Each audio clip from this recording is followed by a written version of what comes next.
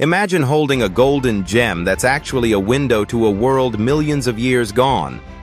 Amber, the fossilized resin of ancient trees, is exactly that, a natural time capsule. When sticky resin oozed down tree trunks ages ago, it sometimes trapped insects, plant fragments, or even droplets of water. Over countless millennia, this resin hardened and transformed into amber, perfectly preserving whatever it encased. What makes amber extraordinary is its ability to capture the tiniest details, delicate wings, microscopic pollen, and even the colors of feathers, offering a vivid snapshot of vanished ecosystems. Scientists have marveled at tiny creatures frozen mid-crawl or in flight, forever suspended in their final moments. Some pieces even contain air bubbles, holding ancient atmospheres within, providing clues about the Earth's past climate.